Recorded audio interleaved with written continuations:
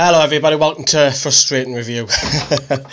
um, so some of you might have seen the reaction video, which is, al which is already out on the channel, the instant reaction. I was quite sweary. I was just literally five minutes after the match had finished, I filmed that. So I've calmed down. We're going to be having a look at an all-round perspective, going you through the lineups, the bit of a game about the self. We'll hear from Rafa himself. We'll look at the league table, uh, Nottingham Forest and a couple of things on the channel as well. So let's kick in with it as we begin with reviews. Let's have a look at the lineup. So this is how Huddersfield line up and we got 10 out of 11 correct. The only one we didn't get uh, uh, right in the previews was Van La Parra came in for Kasey Palmer. But apart from that, uh, we got a spot on. Apart from that, um, you know, the play with the fullbacks very, very high on.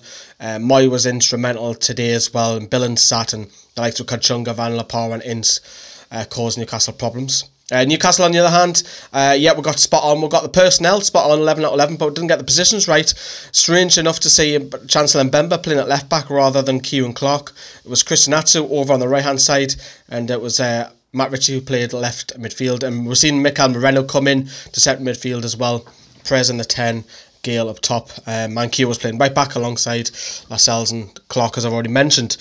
So the game itself, first half, it was. Um, was predominantly dominated by Huddersfield. They got off to a great start the first 20 25 minutes, uh, causing problems. Uh, the communication Newcastle's backline with, uh, with Lascelles, Manquillo in particular, was pretty poor. Newcastle then started to have a spell for up until the half hour mark for about 5 10 minutes. We're keeping the ball.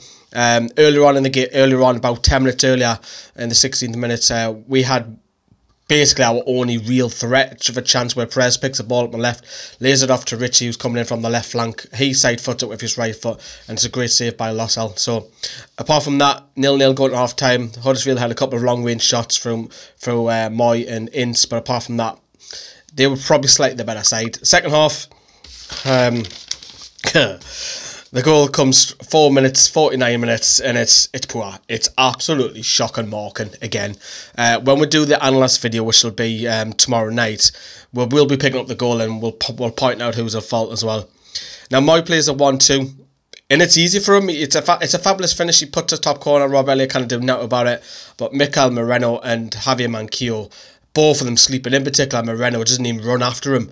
I know Manquillo lets his man run, but at least Manquillo makes an effort. And, you know, it's the third three goals that we've conceded. Manquillo's been involved in all of them, not tracking his runner. I know that sounds very critical, but I would like to put it out there how, how blunt I am. He is at fault for all three goals that we've conceded this season. Yes, you can say against Spurs that Jonjo Shelvey was sent off and it made life difficult, but it's simple marking. It isn't like an error where he messes up, kicks in the air, or he doesn't. It's simple, basic defending marking, which you do day to day in training. You, your player runs across you and you run you get in front of him, but he hasn't done on any of those goals. And my, Merino's at fault as well. Um, We've seen Gayle come off only this week, a few couple of minutes later, which is a bit surprising. I think that's probably down to fitness, but we actually looked a lot better with Joselu in that side because he was holding the ball up. We get a few more crosses in. Newcastle starting to have a lot more possession, but he was feeding off scraps. I know we're seeing Diame come on for Hayden later on. I can get why Rafa done that because he wants to see the midfield push further up, but we're seeing Murphy come on later on for Prez, but I was really, really disappointed not seeing see Mitrovic come on.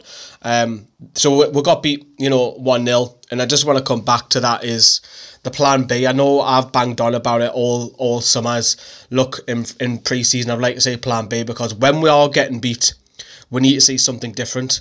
Now, Rafa has touched upon this before and said, look at the personnel that he's got. I have to disagree with Rafa. He, he gets the majority stuff spot on, which he's a genius. He's fantastic, but we really need looking at it. We need a plan B. We need to chuck. Why can't we chuck Mitrovic on up, up front alongside Joselu and start getting some crosses in the box? What's so difficult about that? You're already losing the game. Yes, we'll probably will be counter counter attacked against, but it's a risk you have to take.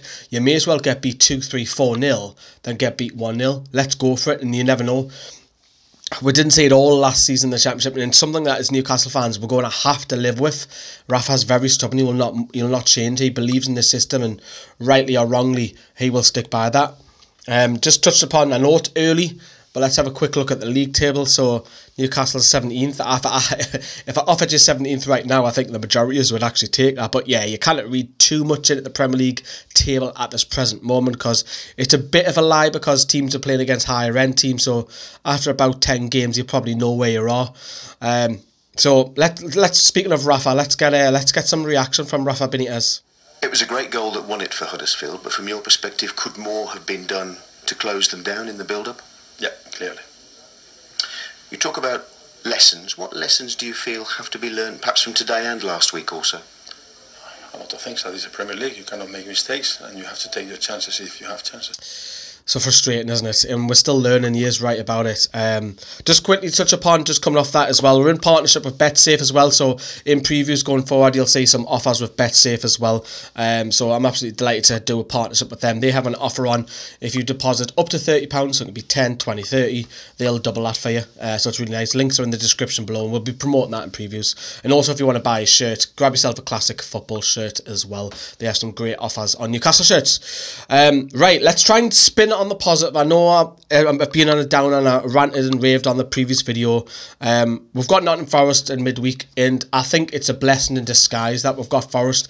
We don't have to worry about the league. There'll be a lot of changes. We'll hopefully see some youngsters, the likes of El Mani and Finley and Barlaser and Fernandez, hopefully coming in the match day squad.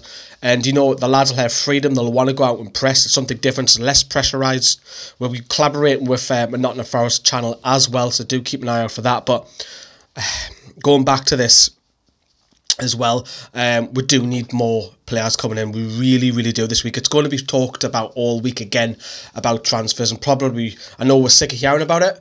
But until the transfer window closes, that's all we're going to hear about players being linked. Rafa not getting these players, and Mike actually needs to put some money out because you can see on the two performances. I know the Spurs one was very spirited, but we lack we really lack going forward. Yes, you're always going to concede. We're promoted side. We're going to concede all the time. We're going to be we're going to be probably hammered some point, 4 0, 5 0, some point in the season. But we need goals. Goals keep you up, and we're struggling big time. And if it hasn't got plan A, hasn't got the players, go out and get the players. Yes, it's easier and said than done. We need players off the books, but you've got to look at now the board and the ownership. And with Rafa on this one, he needs players. This Rafa does not want to be in a relegation battle. He wins trophies. That's what he's good at. Um, right, anyways, let's turn this into a, a, positive as well. We were on BT Sport on Saturday again, uh, hours again, and Will actually managed it on this time. He has the he has the clip.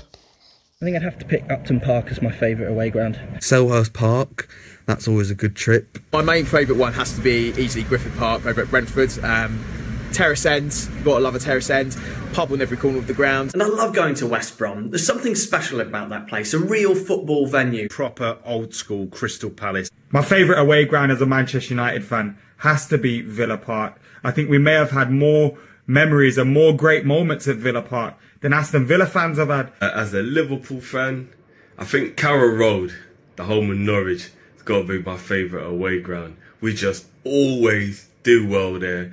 Hopefully some away fans will pick this beautiful stadium, St James's Park. You've got to hand it to the Geordies. They're a passionate crowd. They know the football. They get behind the team. I love the fact that the ground's in the middle of the city so you can have some refreshments after. Uh, Wembley's going to be a fantastic away day for anyone that goes down there to play Tottenham um, and to go to the National Stadium and see our teams play, especially Newcastle, um, would be an absolutely fantastic experience.